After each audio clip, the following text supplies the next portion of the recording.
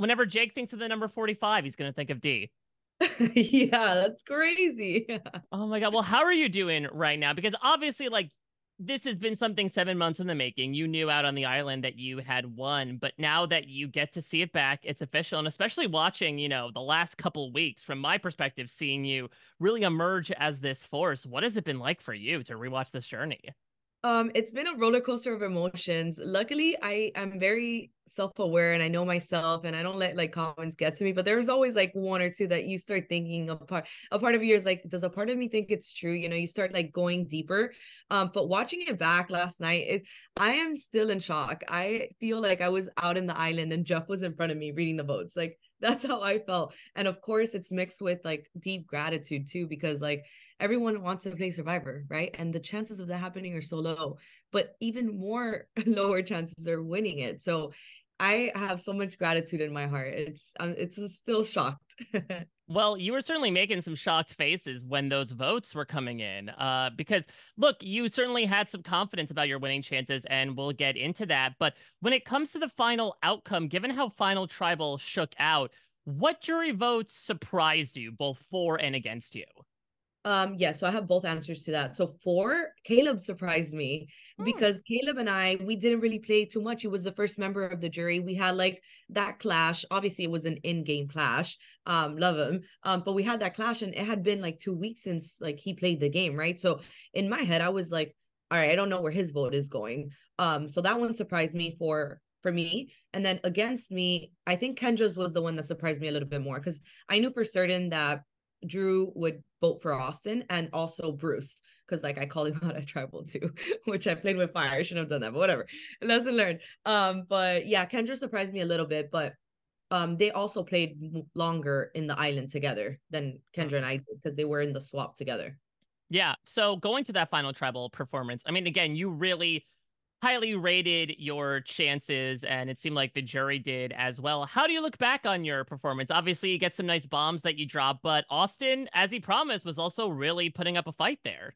Yeah, um, I I thought I did great. I thought we all did. I right when um in the fire challenge, um, the final immunity challenge and and the tribal, they cut it up. But I had told Jeff, I'm like, Jeff, if and I look at us, I'm like, if you need to shit on my mother, like you guys shit on my mother. Like I am coming for you. Like my fire is coming out. Um, so I think I did just that, and I'm very proud of myself. And it, it was fun. It was fun, and the jury did a great job at asking us questions, like rough questions, but also like emotional ones, and it was a lot of fun.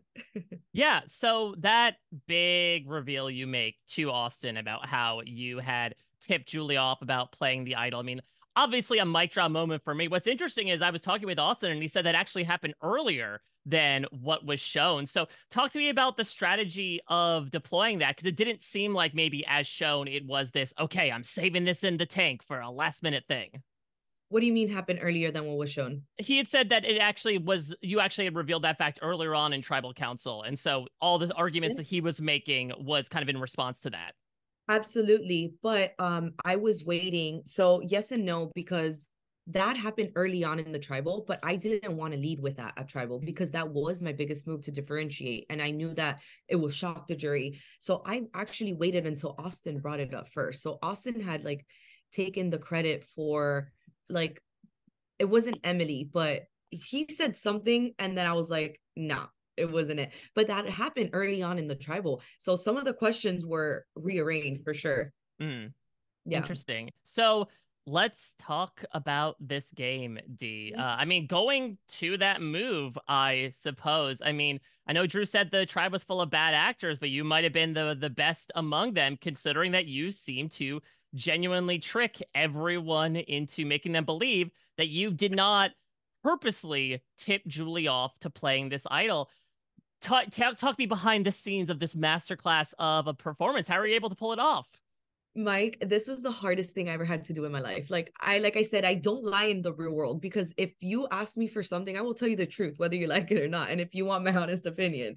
But this was absolutely insane. Like I as soon as I went back, so they only obviously showed me speaking with Austin, but I had a conversation with every single person because every person had a conversation with me beforehand, telling apology oh, on on, on an apology tour, saying like, hey, Dee, so sorry, it's gonna be Julie. And I just had to be like, okay, okay, fine, fine, fine and then coming back, Katurah swearing on my family, Austin swearing on my family, like, and mind you, it wasn't me just being the good actress because Julie was also the great actress because we had like what three four days left in the game.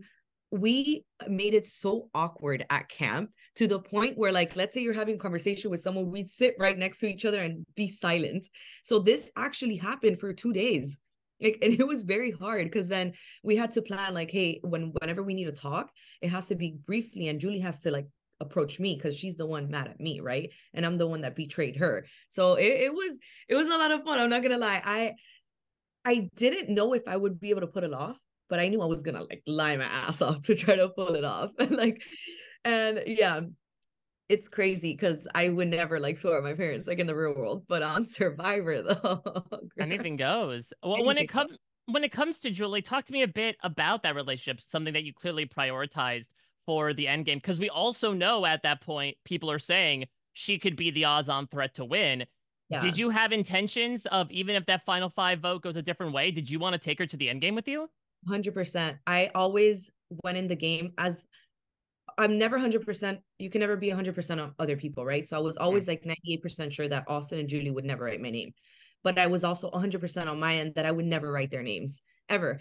And like I would do whatever it takes to take them to the end. And unfortunately, even if that meant that one of the two like backstabbed me because they really were my blind side. Like I was blinded by them. If they if they blindsided me, it would have been inc- insane. I would have never seen it coming because they're the two people that I put like my absolute trust in. And I 100% was going to take her to the end with me. It just so happened that in that final five vote, it was out of my hands. I, I was told that like right before tribal again.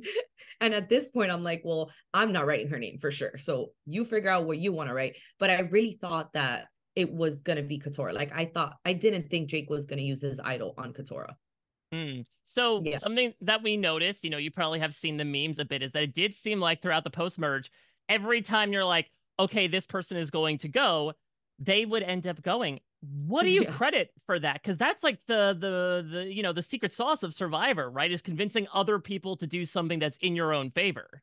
Yeah. So the thing about Survivor, um, and you know, everyone's like, oh, playing dominant, very safe. Like it's very hard to hear your name post merge and hear your name as a threat every single time because you have to lower yourself every time. So what you have to do is obviously be extremely intuitive and always be watching who talks to who after tribal, who goes on longer walks, like who doesn't talk to me, who doesn't speak strategy with me. There's there's a lot going on, right? Um so wait i, lo- I lost track of the question uh, just uh, just like the fact that you were able to get the other rebas oh, most importantly right. to be like i'm gonna get rid of you're gonna get rid of who i want you to get rid of yeah so the thing with the the thing out there there's always a shinier object and you got to make people believe that there's a shinier object so every time with reba what was so special about us is that we get we gave and we took we gave and we took like for example the Kellie i didn't want her gone but I understood that it was an amulet that we turn into an idol, and then the four of us would be used in rotation, or at least to have information in the game, right? And then the whole Kendra thing, it was funny because it shows that I just want her out because of her name, but it's not necessarily just that. It's because she was the first person, she was so perceptive of Austin and I. She was the first person to catch on to us. So I would tell Austin and Julie and Drew she needs to go because she said my name, but really it's because she caught on to Austin and I. But I couldn't say that out loud because I couldn't tell Julie and Drew that Austin and I are in a showmance. Nonetheless, producers, because we weren't in a real showmance, like we'd flirt, we'd hug, but our heads were in the game. We didn't really start opening up until we were in the majority. So I was like, oh yeah, she said my name. But no, it was because she was so perceptive that she needed to go because it was going to be bad for my game. It was going to come back to me. Because what also wasn't shown was Drew telling me that uh, uh, Kendra told him that I had a crush on Austin. So I'm like, oh, hold up. These are two people now. So this girl has to go because now she's going to get that in people's heads and like she's likable. You know what I mean? So yeah. I couldn't have that floating around. Like anything that floats back to me is a danger to my game. So you got to go.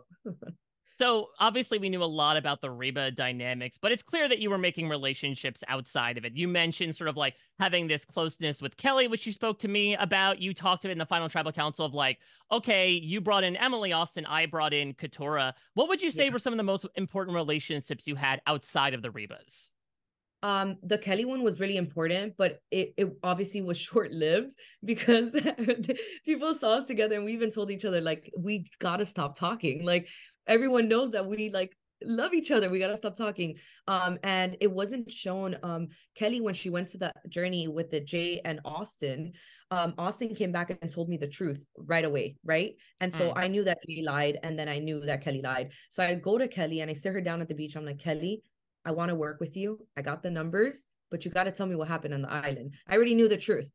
And she was such a good liar that I was like, oh my god this girl did not budge. She's so good at playing this damn game. So i i went back and i was like all right yeah okay i'm down for her to go. Um but katurah was important. Like i feel like our relationship wasn't really shown a lot. Like and also i think it wasn't shown a lot too because a lot of our conversations that were had were like family it was relationships it was like outside right? And and mm. that helped because as soon as katurah came to the merge and we knew that she was at the bottom she was telling Julie and I the story of how like the the whole ring that Jake lost the mm-hmm. ring and all of that. And I know this sounds mean, but like Julie and I were laughing. Like the three of us were cracking up at the water where we're like, that's kind of messed up, but that's actually pretty funny that they they did that. That's really smart. But then after she left, Julie and I had a conversation like, oh my God, we can pull Katurah in. She's at the bottom. And she likes us and we like her too. So let's make this work. And she did was a huge part of a lot of um the votes, especially that didn't involve Drew and mm. Austin.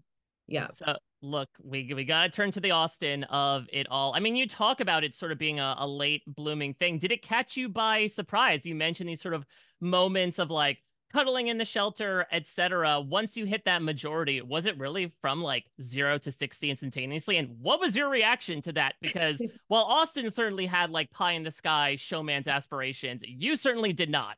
Yeah, absolutely insane. I even said it in like one of the interviews, like red flag, no showmances. You cannot do that. Um, that obviously shocked me, the fact that that happened, but it didn't shock me how once we had majority, we kind of like let loose a little bit. Um, but what, what was I gonna say? Yeah, so basically, like our heads were in the game, and I respect him so much for that. That it didn't start off as the showmance because I could never forgive myself. Like if we got out because somebody caught us as a duel and we we left the game, right? Um, but sorry, excuse me. No, it didn't shock me. It didn't shock me. I'm so grateful that it happened the way it did, and it was later in the game because it showed like the respect that we have for the game and okay now we got majority now we can like flirt a little bit more so.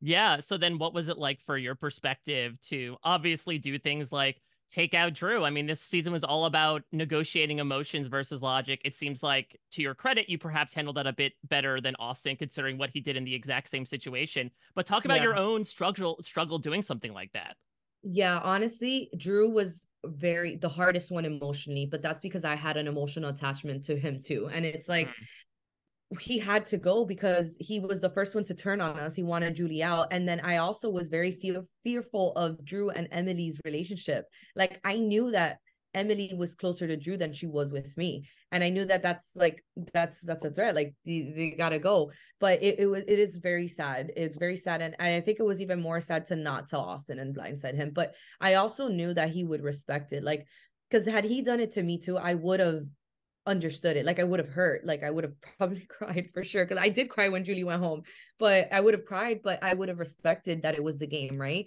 And I still would have trusted that he would have taken me to the end. Just like I'm glad that he still trusted me that I, I kept my word. Like I'm taking you to the end. Like we're we're in this together, you know. Now, listen, I'd have to give in my press credentials if I did, of course, ask about the real life update. Now, Austin gave his answer. I'm intrigued to say if you're on the same page here, much like in the game. I think we might be on the same page. I don't I don't think you'll like my answer, Mike, but mm. we, we decided to keep it private for now just because it's been so emotionally draining this entire process and it's gonna get crazier after too. So we're decided to just keep it private for now.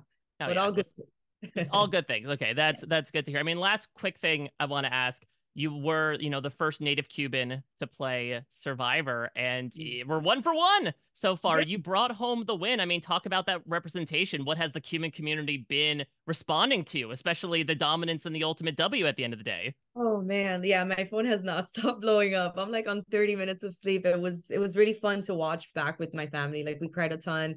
Um, and it, it's a lot of responsibility to hold that, but it, it's cool. Like I always went in the game and I said like you know, obviously I want to win and the money that is the goal, duh, the million dollars. But more than like the title itself, it's just like having someone watch me on TV and say, like, damn, I want to do what she's doing, or like, damn, I want to do something that scares me, or like, damn, I don't want to live an average life, you know? And I think that's so important to like go out there and do things that scare you. And I did that. And I hope that someone's watching me and says, like, man, she's cool. I want to be her friend, or she inspired me. And that to me is like, that is worth more than the title, even though I know the title's huge. But crazy, crazy, crazy.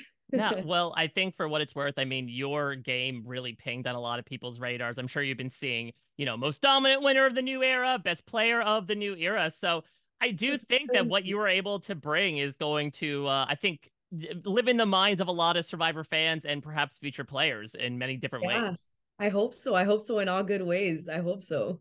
Well, I am so happy that I got to talk with you. As always, I mean, you were just an, a delight, for lack of a better term, so as I say stupidly enough, but like getting to watch you do what you do, especially the past few weeks, was so awesome to watch and to see it all come up, you know, with a million dollars in your name was so fantastic to watch. With oh, you know, perhaps a, yeah, of course, but perhaps with a relationship to boot, it was it was a, an ultimate victory for you in so many ways. So thank you as always, Dee. oh man, thank chat. you. You're awesome. oh, likewise. Well, all the best to you and your family, and hope you have a happy holiday. Thank you. Happy holidays. We'll talk soon. Yep. Bye, Dee.